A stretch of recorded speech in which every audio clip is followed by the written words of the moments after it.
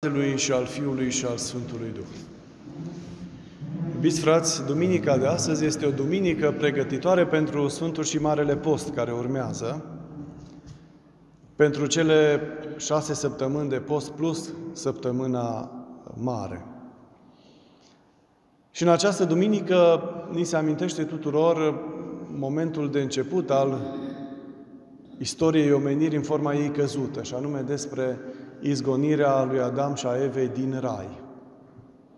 Așa a început istoria dureroasă a lumii prin uh, izgonirea din Rai a protopărinților noștri și astăzi uh, încercăm să refacem drumul sau să punem început drumului de întoarcere către Dumnezeu.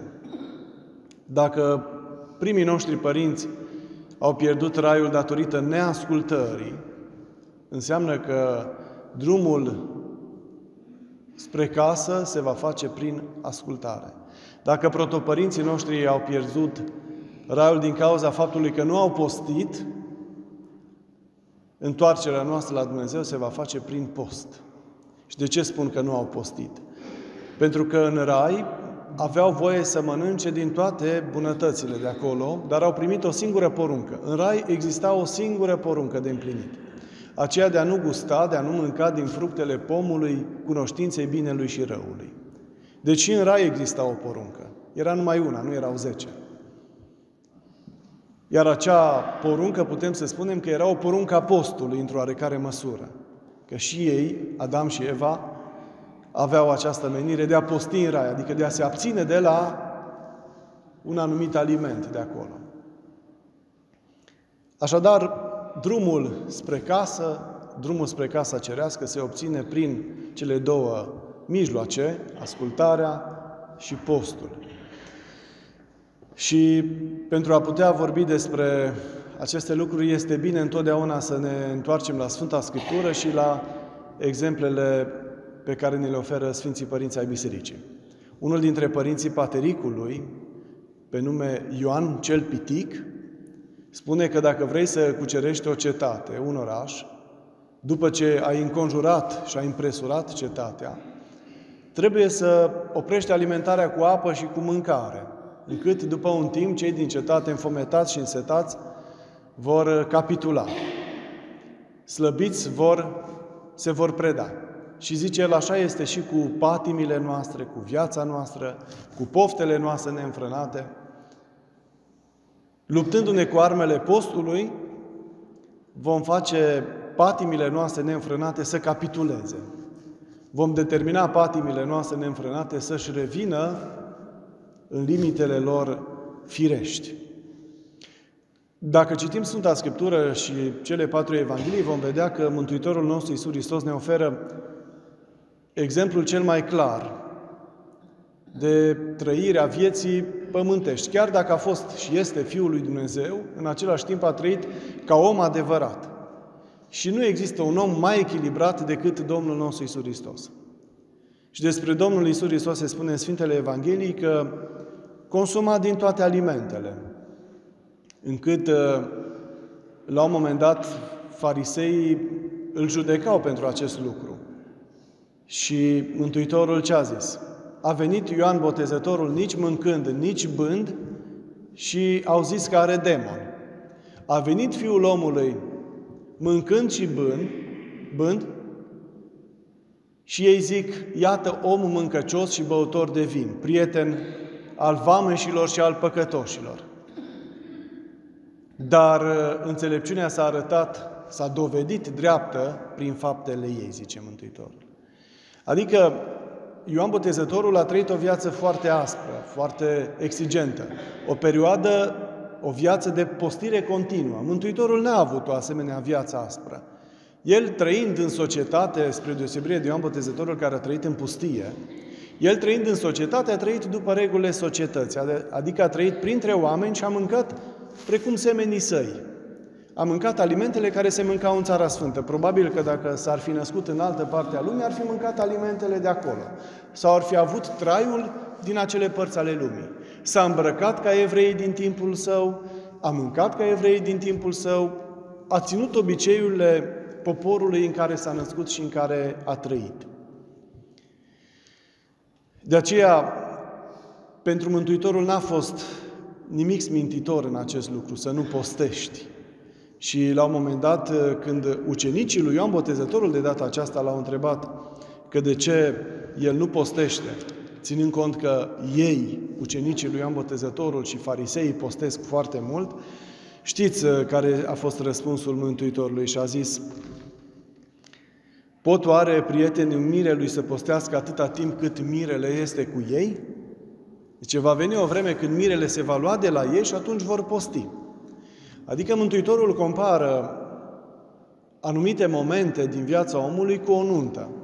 La o nuntă nu se postește, nu se poate posti, nu ne putem imagina să postim. Pentru că nunta este, din punctul nostru de vedere, prin excelență un moment al bucuriei, în care ne bucurăm în primul și în primul rând de miri și ne bucurăm noi unii de alții, iar această bucurie ne exprimăm în diverse forme, printre care și prin mâncărurile pe care le mâncăm. Mâncăm mâncăruri alese, mâncăruri bine pregătite, mâncăm din belșug ca să ne bucurăm și trupește și sufletește alături de miri. Și atunci Mântuitorul profită de acest exemplu și spune foarte simplu, nu se poate ca cineva să postească atâta timp cât mirele este cu ei. Noi, în calitate de creștini, avem aceste momente de nuntă duhovnicească. De exemplu, în săptămâna luminată, pentru noi, săptămâna luminată este o nuntă duhovnicească, în care ne bucurăm de învierea Domnului nostru Iisus Hristos. Și sufletește, în primul rând, dar și trupește. Crăciunul este o nuntă duhovnicească, Boboteaza este o nuntă duhovnicească, Rusaliile sunt o nuntă duhovnicească. Practic, toate praznicele împărătești ce înseamnă praznice împărătești? Acele sărbători închinate Domnului nostru Iisus Hristos, Împăratului Ceresc. De aceea se numesc praznice împărătești. Sunt sărbători închinate Împăratului Hristos. Dar nu numai acele perioade, ci și multe alte zile de peste an sunt perioade în care noi creștinii ne trăim viața cu moderație, dar cu bucurie, că suntem în în harul Domnului nostru Iisus Hristos, că suntem trăitori ai legii celei noi, că suntem membri ai bisericii și că ne trăim viața după legea lui Dumnezeu. Și ne bucurăm. Și într-un an de zile jumătate, mai puțin de jumătate din zilele uh, anului, sunt zile în care mâncăm de toate. Sunt zile de dulce, am zice noi. Și nu greșim cu nimic, pentru că însuși Hristos a trăit în această logică. Pe de altă parte, același Mântuitor Iisus Hristos, din când în când postea. Postea probabil o zi, nu avem în Sfânta Scriptură prezentat un program detaliat al Mântuitorului, avem doar fragmente. Dar știm că postea ocazional și postea și posturi lungi, de 40 de zile. Deci, iată, Mântuitorul, pe de o parte, spunea că atâta timp cât mirele este cu ei, adică atâta timp cât eu sunt cu apostolii mei ei sunt ca la o nuntă duovnicească și acum nu postesc, se bucură de mine și ne bucurăm de, de viața în care suntem, dar va veni vremea când vor posti. Pe de altă parte, același Mântuitor a postit și a recomandat postul. Le-a spus apostolilor, dacă vreți să câștigați bătălia duhovnicească pe care trebuie să o purtați, chiar cu puterile întunericului, cu diavolii, trebuie să postiți. Pentru că există un soi de demoni și există un soi de patim care nu este decât cu rugăciune și cu post. Acest sfat l-a dat Mântuitorul când a coborât de pe muntele Taborului, atunci când apostolii n-au reușit să-l vindece pe acel tânăr demonizat. Și când a fost întrebat de apostol de ce n-am putut să-l vindecăm, a spus, pentru că acest soi de demon nu este decât cu rugăciune și cu post. Adică lupta duhovnicească are diferite trepte. Este de intensități diferite. Și atunci pentru cei avansați este nevoie de o perioadă mai lungă de post și mai aspră de post. De aceea Mântuitorul a recomandat uh, postul și el însuși a practicat postul. De asemenea, el a atras atenția că problema nu sunt alimentele în sine. Am spus săptămâna trecută acest lucru, dacă ați fost atenți. Că el la un moment dat a spus că nu este păcat ceea ce băgăm uh, pe gură, zice, nu este păcat ce mănâncă omul, ci este păcat ceea ce iese din gură. Adică vorbele rele, gândurile rele care ies prin gura omului și prin faptele omului. Dar Mântuitorul vorbește într-un alt plan. Farisei îl chestionau în legătură cu mâncarea trupească, Mântuitorul vorbea de patimile sufletești. Și el zice că mâncarea trupească nu este păcătoasă în sine, adică dacă ceva este comestibil, se poate mânca și este hrănitor, nu este un lucru rău, nu este păcat. Dacă mănânci un aliment, nu este păcat. Păcatul este lăcomia, dacă mănânci peste măsură. Pentru că mâncarea peste măsură sau lăcomia deja se transformă într-o patimă. Și de aceea Mântuitorul face diferență între alimentație, între hrănire și patime și patim. Și de aceea el, în același timp, de aceea vă spuneam că este cel mai echilibrat dintre toți. A mâncat tot ceea ce i s-a pus înainte, a băut și un pahar de vin, se spune în Sfânta Scriptură că era băutor de vin, spre deosebire de Ioan Botezătorul, care nu bea niciun fel de alcool. Pe de altă parte, el a postit și a recomandat postul. Pentru că și vinul este socotit aliment. E adevărat că are o mică cantitate de alcool. Și consumul poate duce, la un moment dat, consumul excesiv poate să conducă la alcoolism sau la alte patimi. Cei care se abțin și postesc toată viața, cum a fost Sfântul Ioan Botezătorul sau cum a fost călugării egipteni, care au postit toată viața pentru călugării egipteni, postul era de o viață, nu existau perioade de întrerupere. Existau perioade de întrerupere, dar perioadele acelea de întrerupere, din punctul nostru de vedere, era tot post. Adică în perioada postului nu mâncau nimic fiert, iar în perioada de după post mâncau fiert și cu ulei, dar nu mâncau carne niciodată, decât carne de pește eventual. Deci, din punctul nostru de vedere, dezlegarea călugărilor egipteni era tot un post, că noi așa postim cum mâncau ei de dulce.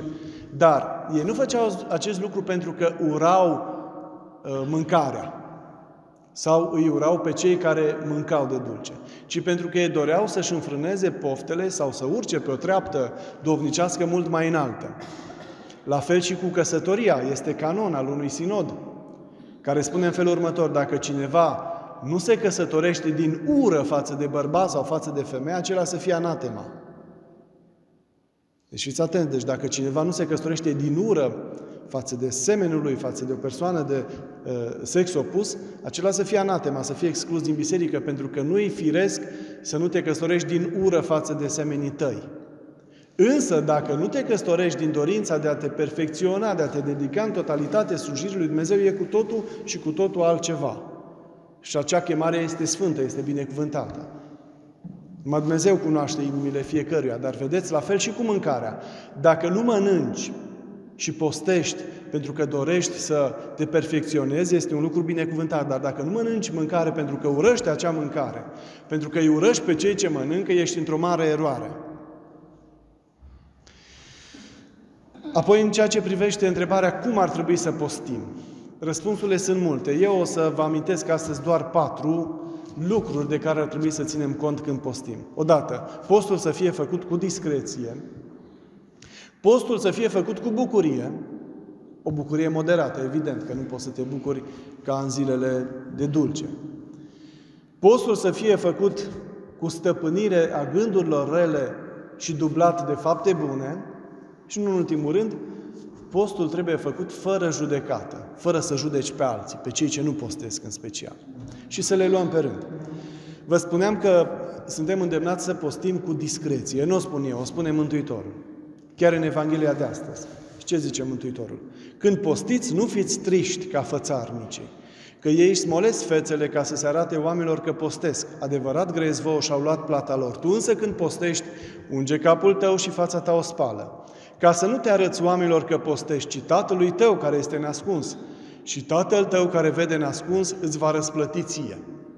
Deci, vedeți, Mântuitorul vorbește și de bucurie și de discreție, la pachet. Deci când postești, ce zice Mântuitorul? Să postești în ascuns și să te arăți Tatălui, deci Tatălui Ceresc. El trebuie să vadă efortul tău, El trebuie să vadă abstinența ta. Deci gândul, atunci când postești, îl îndrepți către Dumnezeu. Pentru că altfel s-ar putea să te păgubești. Și tot în patricul egiptean este o întâmplare foarte frumoasă, la Ava Zenon, se spune că în timpul uh, lui, într-o localitate apropiată de acel centru monahal, viețuia un mirian, un om obișnuit, care însă era foarte postitor, postea foarte mult și a ajuns atât de renumit încât vecinii lui și consătenii Conorășenii, locuitorii care îl cunoșteau, îl, numeau, îl supranumeau postitorul.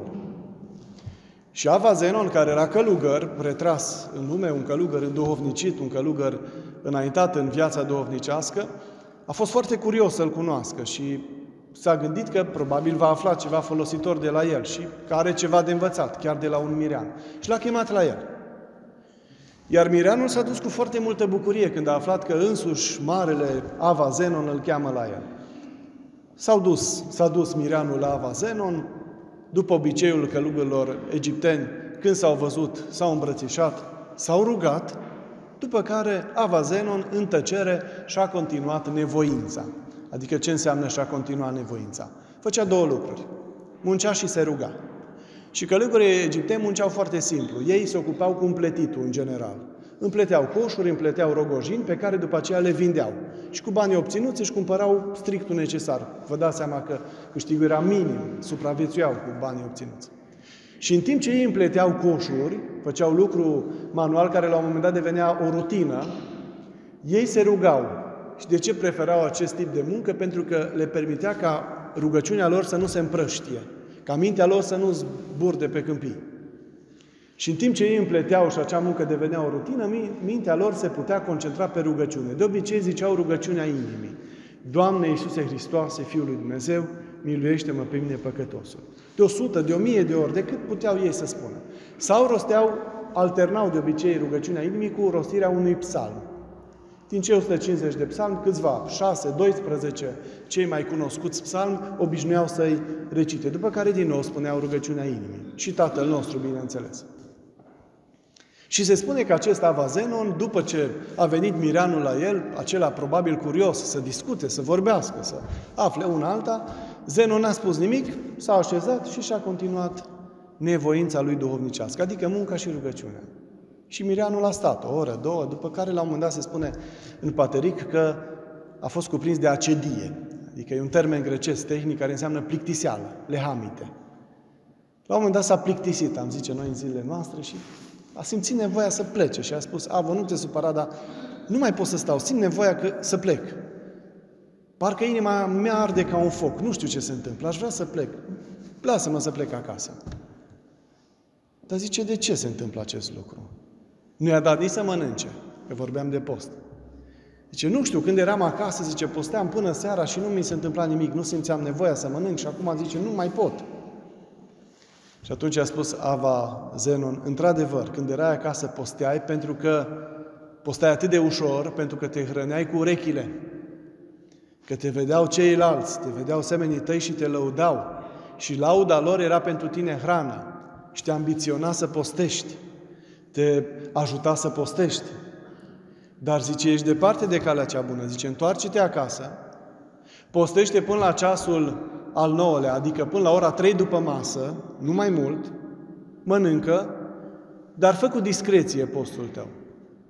Și s-a întors acasă Mirianul și din acel moment, cu multă greutate, din momentul în care a început să postească cu discreție, cu foarte multă greutate a reușit să postească. Încât tot, tot timpul simțea că este foame și că nu mai rezistă. Și semenii lui, vecinii lui, cunoscuți, au observat că este tulburat, că nu mai este el. Și au început să spună că este chiar demonizat.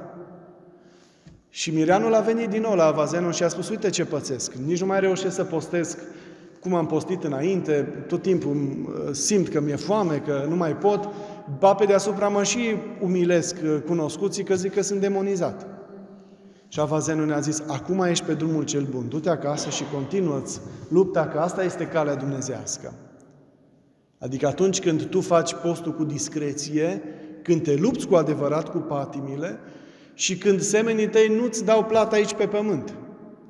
Că dacă te laudă semenii tăi pentru faptele bune pe care le faci, îți primești le plată aici pe pământ. Asta nu înseamnă că nu poți să fii lăudat și pe pământ și în cer. Poți să fii lăudat și pe pământ și în cer, cu condiția că lauda să nu pornească de la tine. Adică pe cei care sunt foarte buni, cum spune Mântuitorul, o cetate aflată în vârf de munte nu poate să se ascundă. Adică pe omul bun îl vezi. Dar să nu pornească de la tine lauda, să nu apuci tu să te lauzi, să spui tuturor cât postesc eu și cum postesc. În general, noi știm unii de alții că postim. Dar puțin dintre noi ne dezvăluim modul în care postim. Nu ne apucăm să spunem, eu postez până seara, nu mănânc nimic, fac următorul lucru și așa mai departe. Și mă laud în fața altora, ca să fiu apreciat. Atunci îmi pierd, îmi pierd câștigul. Dar dacă se știe despre mine la modul general că postesc și las de înțeles că postez fără însă să mă laud, atunci nu e vina noastră. Pentru că, într-adevăr, trebuie să și mărturisim că suntem creștini. Nu putem să fim creștini și să lăsăm impresia că trăim păgânește. Nici asta nu-i lucru, că e iar o, o sminteală. Deci cu discreție, după aceea cu bucurie. Mântuitorul a spus foarte frumos, zice, nu fiți triți, triști când postiți. De obicei avem tendința să fim triști, e ceva biologic. De ce? Mâncarea e mai puțină, mai săracă, și când uh, patimile noastre nu sunt hrănite, avem tendința să fim mai posomorâți, mai blegiți, mai lipsiți de vlagă. Nu mai avem poftă să râdem atâta, să vorbim atâta, să facem lucruri nepotrivite. Și se vede pe chipul nostru cumva că postim. Dar Mântuitorul zice, când postiți, nu fiți triști ca fățarnice, că unii exagerează cu tristețea, că ei își smolesc fețele ca să se arate oamenilor că postesc, adică își murdăresc fața cu, cu cenușă, cum era obiceiul la evrei. Adevărat grezvă și-au luat plata lor. Tu când postești, unge capul tău și fața ta o spală. Adică nu lăsa semne fizice ca să se vadă că tu ești mare postitor, cum aveau evrei obiceiul, să se îmbrace în haine ponosite, să-și pună pe cap cenușă, să-și murdărească fața, să pară, să se zmerească și fizic, să pară niște cerșetori, să pară niște oameni de nimic. Și voi când postiți, o faceți cu discreție și cu bucurie, să nu se vadă pe fețele voastre tristețe. Pentru că în fond este o bucurie când postești. În ce sens este o bucurie? Te bucuri că birui dușmanul. Când câștigi o bătălie, nu te bucuri. Când vezi că încet, încet câștigi, nu te bucuri, te bucuri. Și cum te bucuri tu? Te bucuri când vezi că patimile tale sunt readuse la nivelul lor firesc, adică instinctele tale sunt readuse la nivelul lor firesc. Te bucuri când vezi că trec zilele și te apropii de marele praznic al învierii și tu reușești să duci postul mai departe. Și atunci te bucuri cu fiecare zi care trece. De aceea zice Mântuitorul să fie făcut postul cu bucurie. Apoi stăpânindu-ne gândurile rele și dublându-le de faptele bune. Aici ne ajută foarte mult prorocul Isaia. Dacă veți citi în cartea prorocului Isaia, în capitolul 58, este un dialog foarte frumos între uh, noi și Dumnezeu. Și zice prorocul Isaia, ei mă întreabă despre legile dreptății și doresc să se apropie de Dumnezeu. Aici Dumnezeu vorbește. Ei, oamenii, mă întreabă pe mine Dumnezeu despre legile dreptății și doresc să se apropie de, de mine. Și zic, pentru ce să postim dacă tu nu vezi? La ce să ne zmerim sufletul nostru dacă tu nu iei aminte? Zice omul către Dumnezeu. Și ce îi răspunde Dumnezeu? Da, în zi de post, voi vă vedeți de treburile voastre și asupriți pe toți lucrătorii voștri. Voi postiți ca să vă certați și să vă sfădiți și să bateți furioși cu pumnul. Nu postiți cum se cuvine zilele acelea, cu glasul, ca glasul vostru să se audă sus. Este oare aceasta un post care îmi place? O zi în care omul își smerește sufletul său? Să-și plece capul ca o trestie, să se culce pe sac și în cenușă, Oare acesta se cheamă post, zi plăcută Domnului? Nu știți voi postul care îmi place? Zice Domnul. Rupeți legăturile nedreptății. Dezlegați legăturile jugului. Dați drumul celor asupriți și sfărâmați jugul lor. Împarte pâinea ta cu cel flămând. Adăpostește în casă pe cel sărman. Pe cel gol îmbracă și nu te ascunde de cel de un alt neam cu tine. Atunci lumina ta va răsări ca zorile și tămăduirea ta se va grăbi. Dreptatea ta va merge înaintea ta, iar în urma ta slava lui Dumnezeu. Atunci vei striga și Domnul te va auzi. La strigătul tău El va zice, iată-mă, dacă tu îndepărtezi din mijlocul tău asuprirea, amenințarea cu mâna și cuvântul de cârtire, dacă dai pâinea ta celui flământ și tu saturi sufletul amărât, lumina ta va răsări în întuneric și bezna ta va fi ca miezul zilei. Domnul te va călăuzi necontenit și în pustiu va sătura sufletul tău. El va da tărie oaselor tale și vei fi ca o grădină adăpată, ca un izvor de apă vie, care nu se acă niciodată. Prin urechile tale ruine se vor înălța, pe vechile tale ruine se vor înălța clădiri noi. Vei ridica un nou templu, din nou temeliile străbune și vei fi numit dregător de spărturi și noitor de drumuri, ca țara să poată fi locuită. Deci vedeți ce frumos vorbește prorocul Isaia. Ce dacă vreți ca postul meu să fie primit, dublați-l de fapte bune.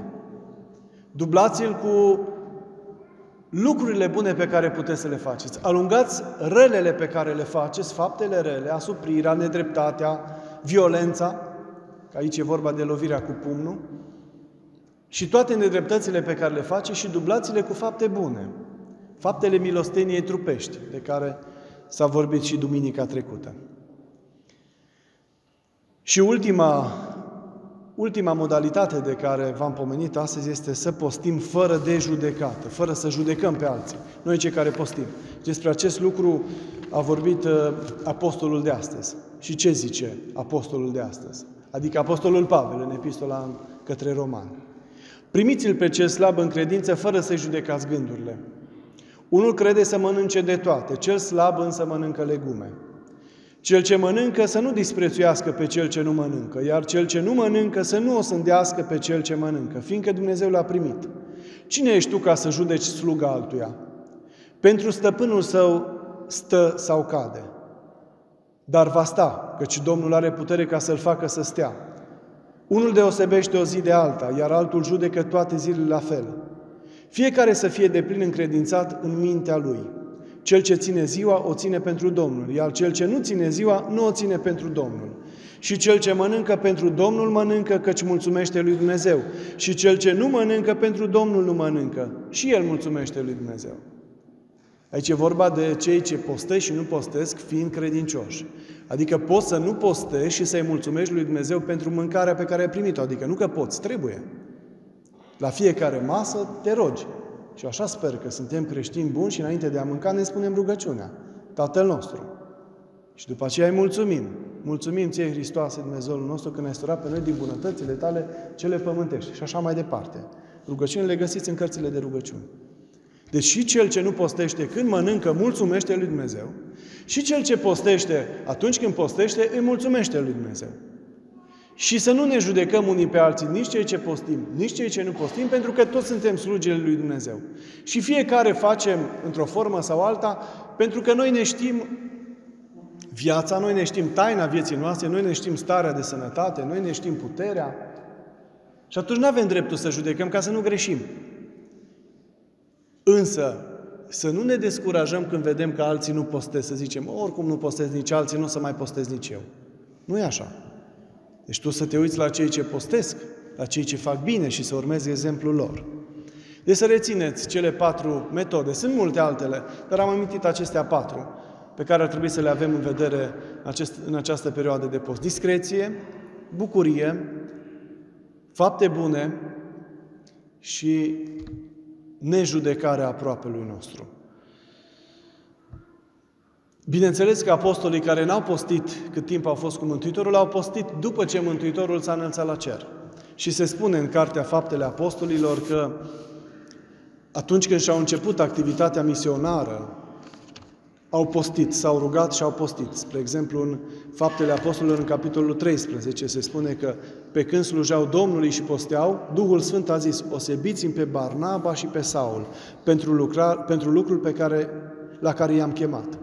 Atunci, postind și rugându-se, și-au pus mâinile peste ei și i-au lăsat să plece. Este momentul în care Apostolul Pavel își începe călătoriile misionare. Deci lucrarea misionară și-au început-o cu rugăciune și cu post.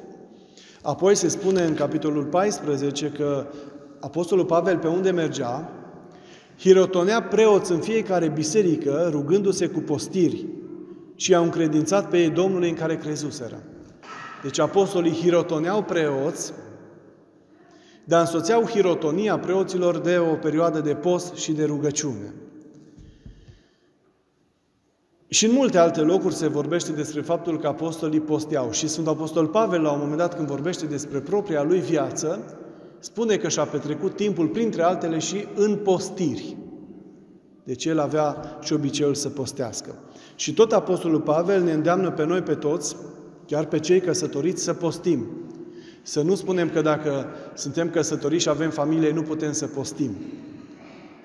Și el vorbește chiar de relațiile intime dintre soți și zice să vă lipsiți unul de altul, de, să nu vă lipsiți unul de altul decât cu bună învoială, pentru un timp, ca să vă îndeleniciți cu postul și cu rugăciunea. Și iarăși să fiți împreună, ca să nu vă ispitească satana din pricina neînfrânării voastre. Practic, el spune că relațiile intime, relațiile conjugale, se opresc doar în perioada postului, cu acordul ambelor părți ambilor soți, ca să nu existe tulburare, zminteală sau, Doamne ferește, datorită ispitei satanei, să existe infidelitate. Pentru că de aici se ajunge la infidelitate și la uh, păcat, alte păcate. De la faptul că nu există o bună comunicare între soți, faptul că soții nu postesc amândoi și faptul că postul nu este cu bună învoială. Adică și într-o familie postul trebuie să fie cu bună învoială. Nu să-l obligi pe cel de lângă tine să postească. Că dacă îl obligi, nu mai postește. Chiar și pe copiii noștri, când sunt mici, încercăm de mici să învățăm cu postul să postească, dar nu putem obliga. Și nici nu trebuie să-i obligăm. Îi învățăm și încercăm să-i convingem.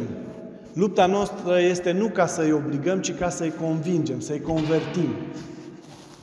Și chiar dacă nu o să reușim să-i convertim în totalitate, tot e un câștig dacă reușim cât de cât să îi facem să postească. Bineînțeles, cei care sunt mari, deja maturi, putem să îi convingem să țină toate posturile, dacă doresc, dar și aici cu bună înțelegere. Deci asta e regula postului în familie. Apostolul Pavel ne îndeamnă să postim, dar postul nostru să fie cu bună înțelegere întotdeauna, cu acordul tuturor părților, ca să fie cu folos. Altfel nu este cu folos.